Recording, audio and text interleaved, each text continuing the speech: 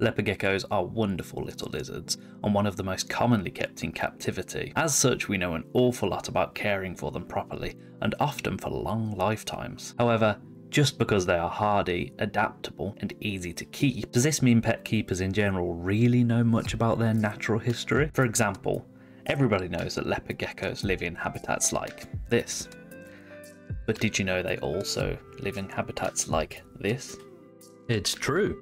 In fact, leopard geckos may be said to be so hardy and such ideal candidates for captivity because they are so adaptable to different environments and climatic conditions. Each species on Earth doesn't exist only in a single habitat, and so here we have a problem. How do we cater to these animals in captivity when we could find two identical individuals in two completely different habitats? The reptile keeping hobby usually refers to leopard geckos as being desert dwelling, dry, nocturnal creatures, and we have usually emulated this by providing captives with what we think that looks like in our minds. Meanwhile, using absolutely no wild habitat data other than seeing what blunt country names are mentioned, such as Afghanistan, Pakistan, and India. If one uses only their preconceptions, having never experienced such a country, we may see only rocky deserts in mind. But in truth, there are many forested areas too, and so long as a population of this species is found in one of those, then they will have that country listed under their wild range. There is also the issue that sightings in drier areas could be attributed to more dry adapted species, such as the Iranian fat-tailed gecko, which we do not keep and is more dry adapted. The way we think about and keep captive reptiles is very narrow. Within the hobby, there are a multitude of ways that people keep these geckos from unlit basic racking systems to large naturalistic attempts, and every possible step in between. So what is closer to right? Let's find out. In 2009, Mohammed Sharif Khan, a herpetologist from Pakistan, published a study showing his observations of wild leopard geckos, including habitat images like this, which shows a dried up but certainly not dry and dead, riverbed. He notes that they prefer to live in caves and crevices found in rock walls where possible, which go rather deep and appear to retain a fair amount of humidity, being 8 to 33% more humid in entrance resting areas compared to the outside. He also describes the effect of monsoon rains, so these geckos experience times of year with extreme moisture and air humidity of 70 to 80%. Khan also mentioned that they were most active in the environment during the humid season, and near human habitation could be found gathered under leaking pipes. Another study in 2019 by a group of Nepalese researchers discovered a few individuals in Nepal in lush habitat that at times reached as low temperatures as 5 degrees Celsius. They were also found 1.5 meters above the ground within a dead tree. Stark differences to how we usually keep these in captivity. Ben Owens, the director and founder of Captive and Field Herpetology, also has made some incredible wild observations that he has kindly provided to us.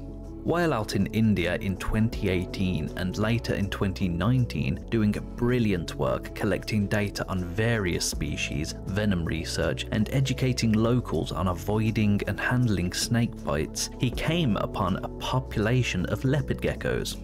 Through DNA work, he later confirmed that these are indeed the same species and the same locality as the geckos we keep as pets, identical to those originally caught for the pet trade. So, how did you imagine leopard gecko wild habitat prior to this video? Dry? Sandy and rocky? This is where they were found. Once again, relatively lush habitat with lots of foliage, and no small amount of water. Living in rocky but humid stone walls, with dampened soil below and a lot of biological matter littering the habitat floor. This habitat still has drier areas within, but that is part of what we must focus on so as to improve our captive husbandry. Their wild habitat has a wealth of different microhabitats or microbiomes where they can and will move between to get what they need at that moment. A huge misunderstanding within this hobby appears to be an assumption that moisture or humidity is a death sentence for any species that could be described as arid. But the real issue there in practice would be the lack of ventilation, causing stagnant air and water, and unavoidable humidity. Water isn't the problem, enclosure design is. Another issue is how people have assumed that desert animals survive in habitats that lack water in the wild, assuming that they go long periods without drinking. But this isn't true. Advancing Herpetological Husbandry co founder Francis Cuskelly has noted the following on his experience of desert life. I have stood in the Namib Desert, which can have just 5 millimeters of rain in a year, and been absolutely soaked by fog droplets. Droplets that a great many species in the region have adapted to live off. I have walked at night in North Africa and been wet from night mist. Even with extremely low rainfall and no permanent water features, a desert can still experience morning dew, fog, and mist. Many less hardy species have already shown that this is key to their captive survival.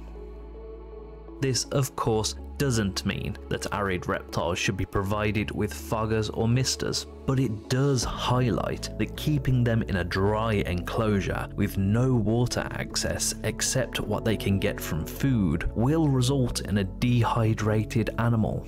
We know that many arid snakes and even bearded dragons will seek out and drink dew off the tips of grasses, Veterinary interventions have also found that many cases of gut impaction in reptiles are in part due to dehydration causing constipation.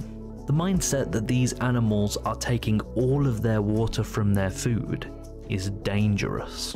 Francis has long recommended providing at least a small localized humid hide for all reptiles, and does so even for true desert arid dwelling species like his sand snakes and coach whips. Ben Owens elaborates on some more surprising seasonal parts of leopard gecko ranges. He notes finding them at 900 to 1200 meters above sea level, meaning that hot weather can well exceed 30 degrees Celsius but also commonly drops below 20 and an average night temperature of between 8 and 13 Celsius. Noting that these areas can even receive snow. People are often afraid to allow temperatures to temporarily drop low like this, but they are capable of handling it in their wild environment. Here is Ben's opinion on how we should think about the husbandry of leopard geckos. I think our captive leopard gecko may actually be so far removed from its wild counterparts that some serious thought and planning would have to go into keeping them in truly naturalistic conditions. To truly do so, and I believe this is true of pretty much all species, our enclosure sizes would need to be significantly larger, so we could provide damp areas alongside drier areas, which don't remain too stagnant when we aren't providing hot temperatures.